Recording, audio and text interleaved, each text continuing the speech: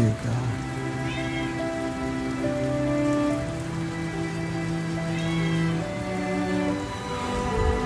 For salvation, Lord. I can't keep doing this on my own. Lord, I don't want my way anymore. I want your way. Your will, not mine. You know best, Lord.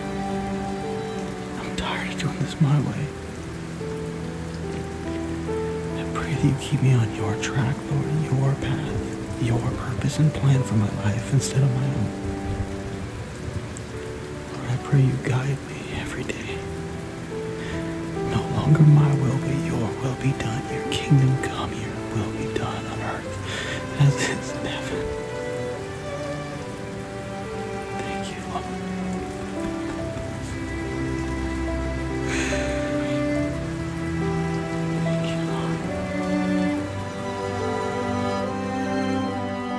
Was once just like the world, and I fit in perfectly with everybody.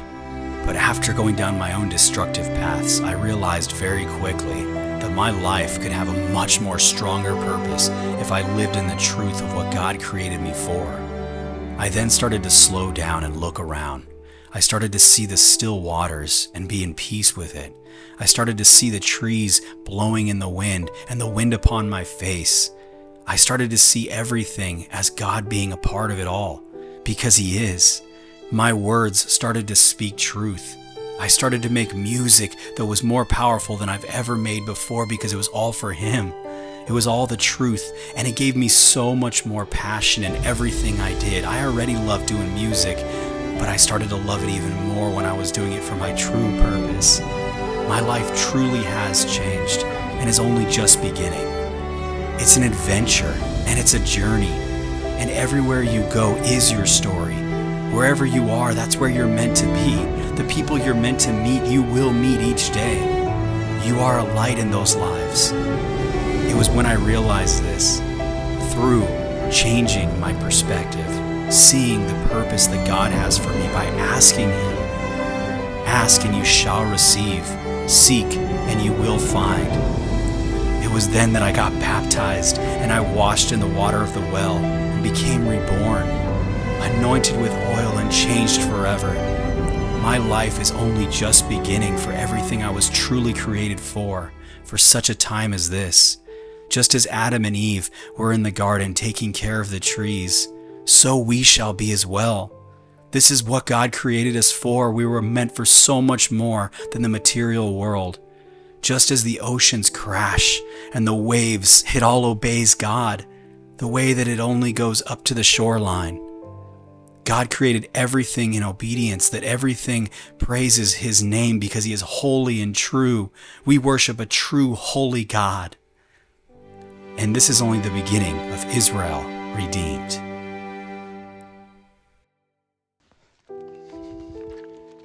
Alrighty, we're almost there, Mia. Look at this gorgeous view. Come on out of there, little Mia. Let's hang out by the water. All right. Look at this view under this tree, Mia.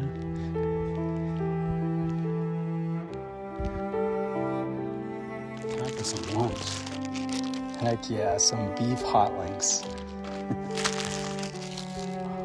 Yummy little vegan little brownie thing. Yummy. How you feeling, Mia?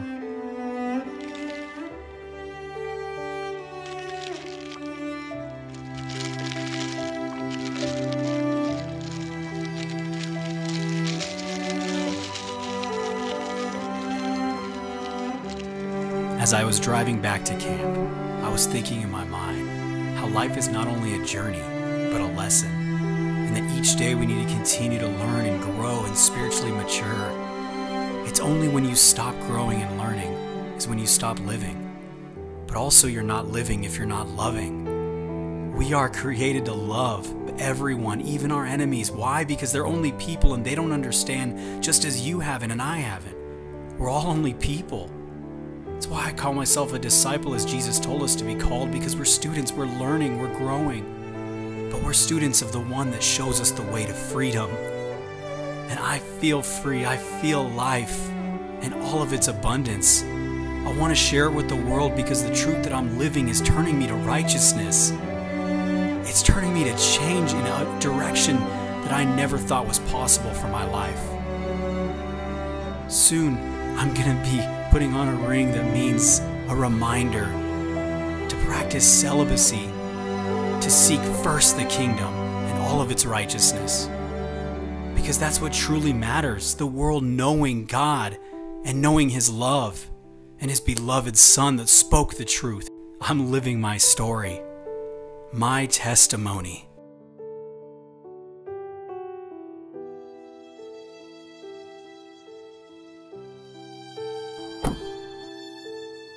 This is the time on this generation that I was here.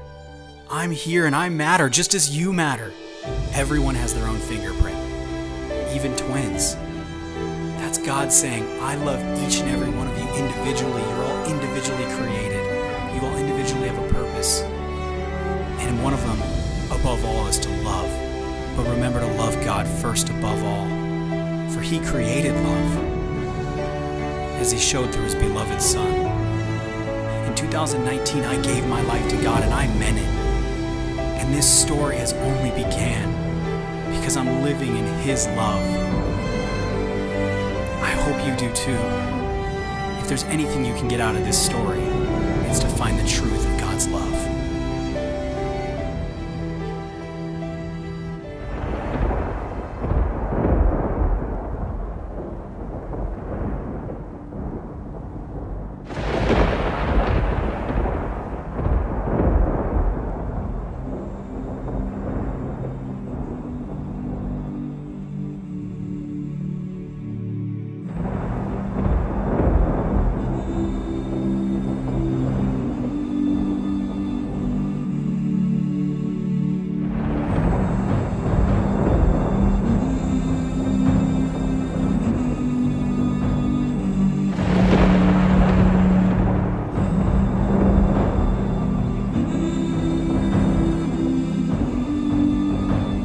Was time. It was early morning. I woke up right at sunrise, right before it. And I woke up in the wilderness, and I followed the path out to the place where I was going to let God know how much He means to me. I was ready. I was sanctified in His Word, in water, in anointing oil, in spirit, in truth. I was led out into the wilderness speak to Him. And as I was walking, I knew that this was the time that was ordained, that everything happens in His timing.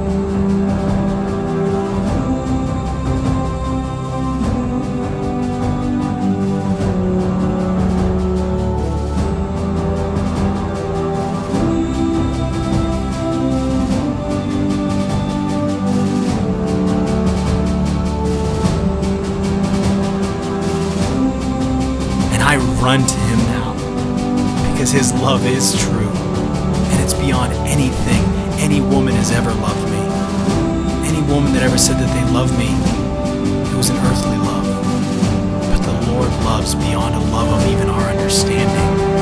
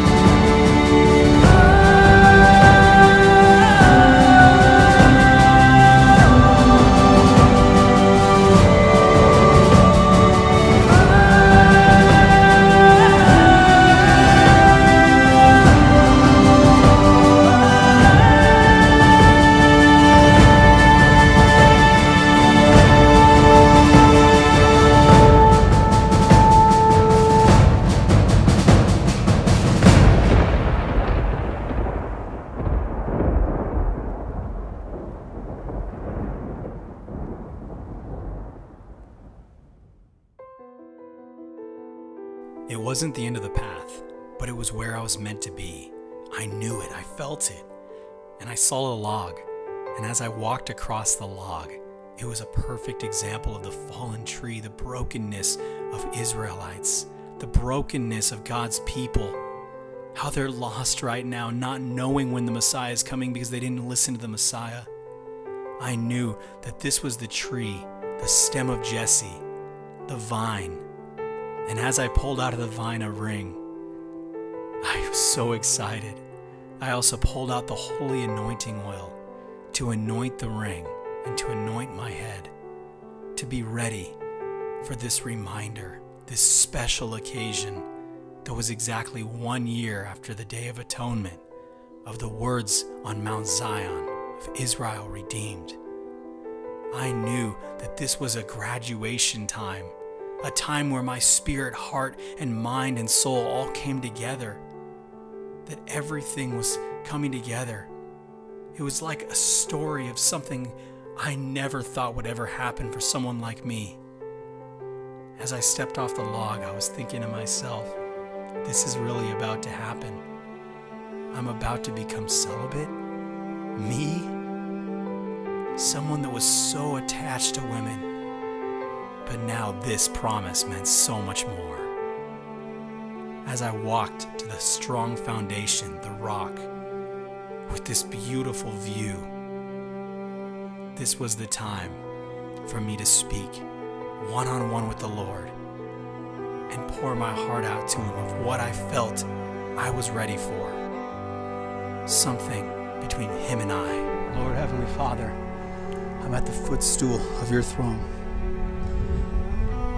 Lord, I come to you not in my own name, Lord, but in the name of your Son, Yeshua Messiah, that I believe in with all of my heart. All of my heart. Lord, I have come to this mountain to accept a proposal and engagement, the wedding of the Lamb. Heavenly Father,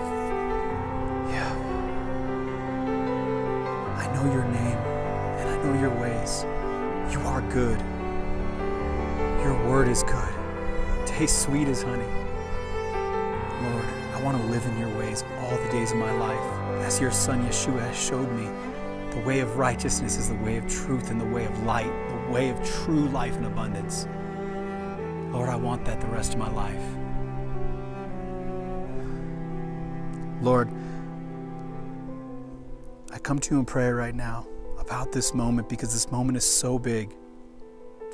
It's not a vow because my Messiah Yeshua said not to make any vows but it's a reminder, like a promise ring, an engagement ring, a reminder that I belong to you, a reminder that I can be a part of the first fruits, the 144,000, the 12 tribes together, 12,000 of each tribe, that I can be crafted and be a part. Lord, I believe.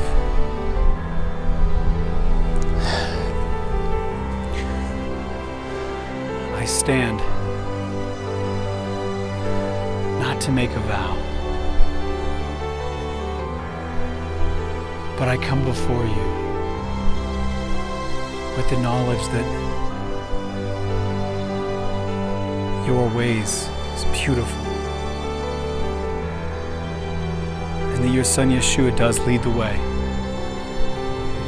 I want to be his bride, part of his church, the true church. The true church is spirit. We don't have a building. Just as you don't know which way the wind is blowing, same with those who walk in the spirit. Lord, I want this ring to be a reminder when I put it on that I belong to you, that I want to live in your ways and continue to practice in your ways.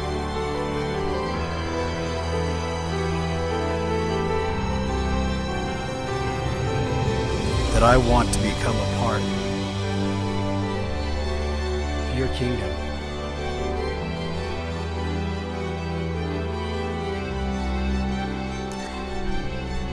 This ring has been sanctified in the anointing oil of the Exodus 30 22 through 25, as well as this horn that I'm about to blow that signifies the reminder that I belong to Him and that I'm going to seek first the kingdom and all of its righteousness. Lord, I want to live in your ways. And as this is exactly one year from the day that I was on Mount Zion, and you had me speak those words, your words, those were not my words. They were way too powerful to be my words. No way. I'm just a man, I'm just a disciple, I'm just a student. Lord, I'm going to put on this ring now and blow this horn.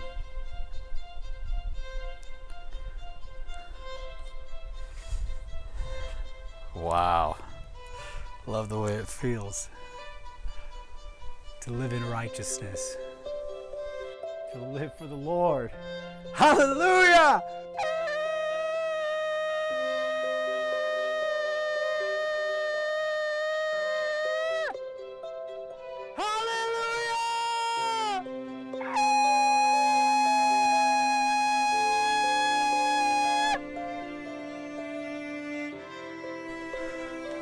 Wow.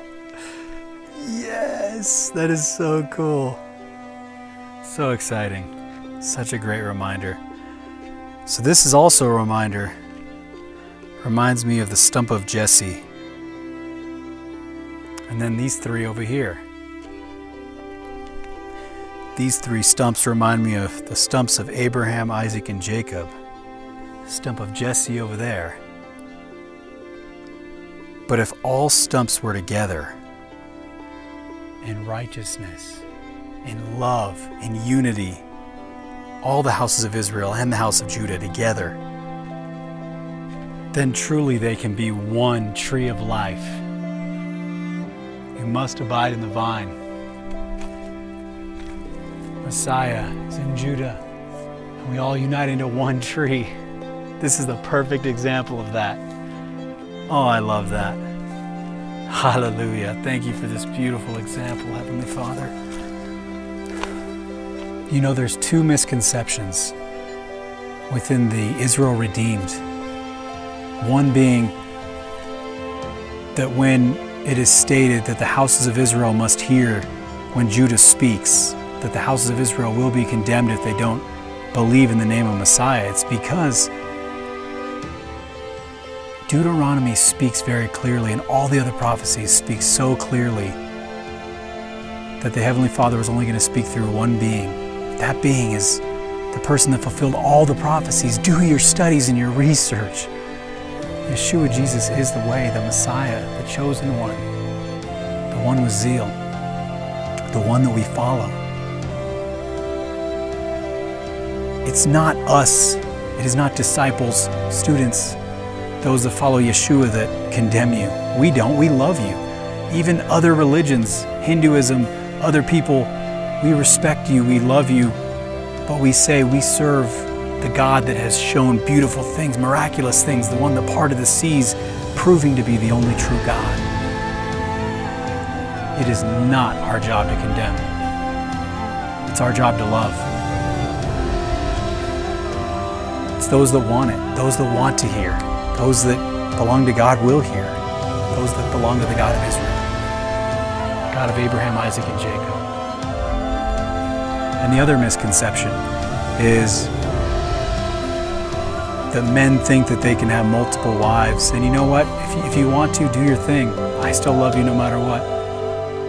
But God created man and woman, one man, one woman, Adam and Eve, in the garden to be one. That was his intention. It was not Adam, Eve, and other women. It wasn't multiple wives. I know that they had multiple wives in the, in the Old Testament, but that's because their hearts were hard. Their hearts wanted more. Their hearts wanted more women. Their hearts wanted more of this and that. They had stiff necks and hard hearts. The Israelites always did. Scripture talks about it.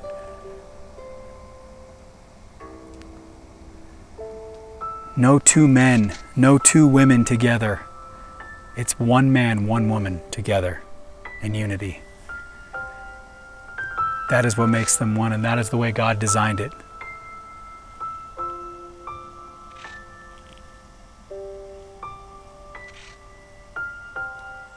Beautiful bird up there in the tree. I don't know if you can see it. I just want to be his servant. But he calls me a friend.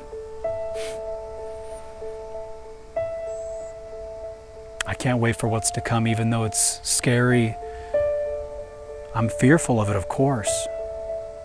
But God protects us. Hallelujah. Amen. God protects us. Don't ever forget that.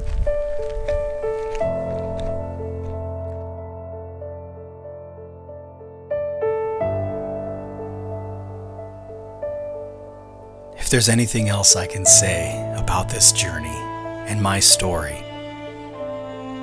it's that Jesus is the way. Because when I started to focus on only His words, not what did Paul say, what did the church say, what did what did uh, this pastor say, what did this priest say, what did this rabbi say? No, what did Jesus say? Because I knew He was the way by reading Scripture prophecy to see that He's the way. It was at this time that I realized all truth by reading His words. And it led me into all truth, even knowing the Father God, the God of Israel, the God of the Jews. And now I'm one with the Jews. A Gentile that was lost, completely lost, now found, even in the middle of the wilderness with my cat, in the middle of the water. I know I can step out.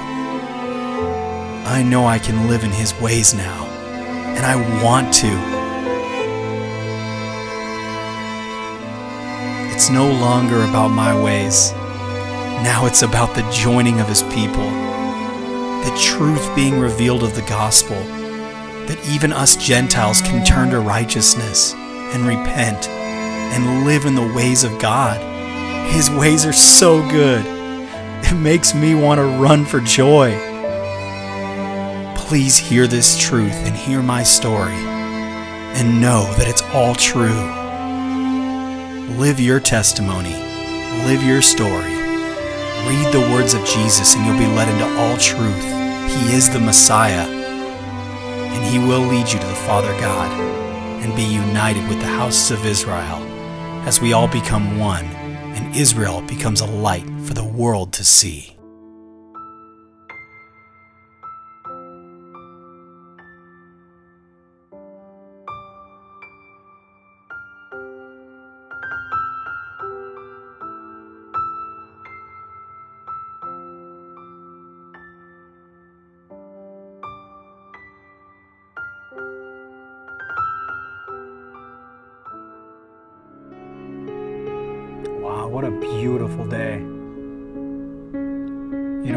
Reminds me of the Sea of Galilee. But even though it's not the Sea of Galilee, God's Spirit is everywhere in the wind, hearing the birds, the leaves falling. It's just the, the nature of life, the law of physics that God put in place. It's so beautiful and powerful. God's presence is all around us. Being in a place like this, thanks for sitting here with me, by the way, and hanging out. It's so cool that we're able to hang out like this. You know, with disciple fellowship, from one disciple to another, I got to tell you, it's been a ride, it's been a journey. Doing everything that God commands, being led into all truth by following His only Son, Jesus. Jesus is looking for His bride, that's His church. Soon the Heavenly Father is going to say, Go get your bride, and it's going to be time. And I hope you're all prepared. Really hope you're all prepared. Those that say you truly follow Jesus, follow Jesus. Your firm foundation is the words of Jesus. If you follow Him, first as your foundation, you'll understand what everyone else was saying. The, the misinterpretations of Paul with all these different churches and different denominations is because the misinterpretations of Paul. It's because they're following Paul before they knew the words of Jesus. You need to make Jesus' words your foundation, the book of Matthew and John. The book of uh, Mark and Luke are the disciples of Paul that wrote that, and they're friends of Paul. And Paul's just a man, you know, like me, I'm just a man, you know, we're not, you have to test the spirits when it comes to man, but when it comes to Jesus, he is the way. And if you believe that, then you can trust the words of Jesus so fully 100% because he came and spoke the words of God as was predicted in Deuteronomy 18. It's very powerful that uh, God writes what he's going to do before he even does it. Such a beautiful park, everybody just cruising by. I love it. But you know what? We are here. While we're here on this earth, we are to be the light of the world just as Jesus was because he calls us to be like he was. He's our example. His words lead to all truth. It's to love, to put down your weapons, to walk face to face with fear. Say, I'm here to love you. God desires mercy, not sacrifice. He does not desire war anymore. He wants to put your he wants your weapons to be put away. Put down. Not put away, put down. Get rid of them. You don't need them because you trust in God. His true people are the first ones to ever go to war with no weapons because our war is with love. We love even our enemies as Jesus taught us. We're willing to die for it because we have eternal life and we believe that with all of our heart. So because we believe it, we have no fear. And while we're here, we enjoy the beautiful views. This tree. God's people will be united in the kingdom under the tree of life, where we get to hang out with Jesus again. And I say again because he was here on earth before. Was people that got to hang out with him. They're going to be resurrected and hanging out with him again. We'll get to hang out with the disciples, get to hang out with Jesus, the people of the Bible. Abraham, David. I would love to hang out with them. But you know what? Jesus is the one I really want to see. My teacher, my rabbi, the only one that I follow. No church do we follow. His true church is in spirit, and it was founded on the Sermon on the Mount. We follow only Jesus. Telling you, there's a lot of doctrines out there, and it's all confused by just the misinterpretation of Paul's words and other listening to other pastors and rabbis and priests. And by the way, Catholic Church, get that idolatry out of the church. Take the statues out of there. God was always against statues. No matter what the reason is, whether you're praying to the statue or in front of it, you're still on your knees in front of a statue. Get off your knees in front of those statues, take them down. And I say that with conviction because that's what God is saying. Doesn't matter what I think, it matters what God thinks. He's the creator. He said to never have statues and stuff like that getting on your knees in front of them. Catholic Church, stop doing that. Mormons, stop baptizing for the dead. Jesus said it's the God, He's the God of the living, not the God of the dead. When we follow only Jesus, we're led into all truth.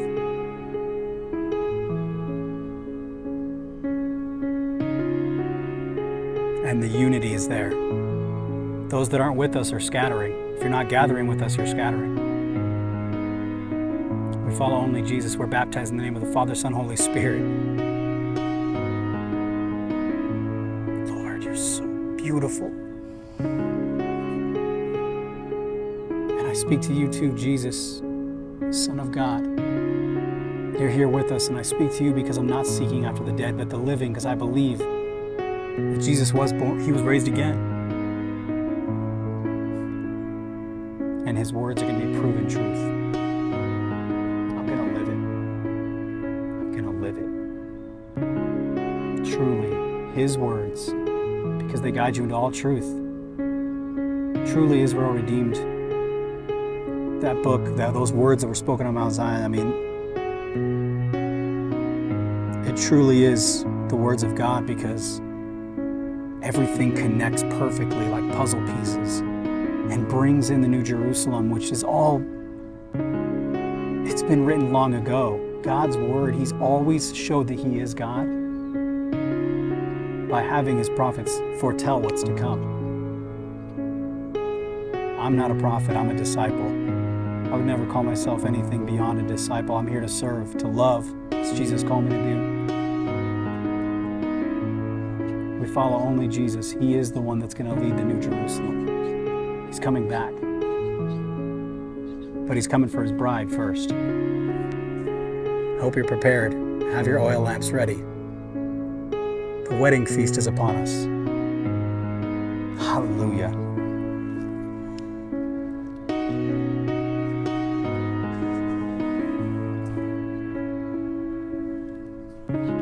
Dear Lord, Heavenly Father, come to you in prayer, Lord, that you guide these that follow you, your true flock, Lord, that are all throughout the world.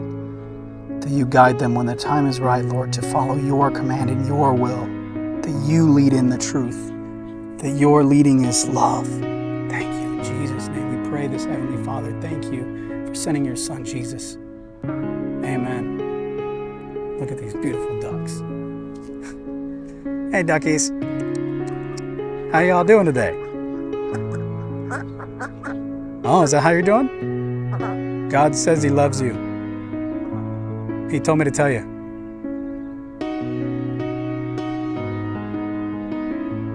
Keep swimming. Love you guys.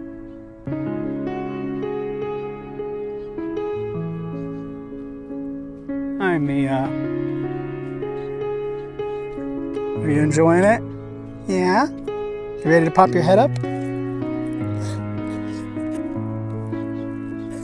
There you go, sweetie. Thanks for joining me, by the way. God bless you.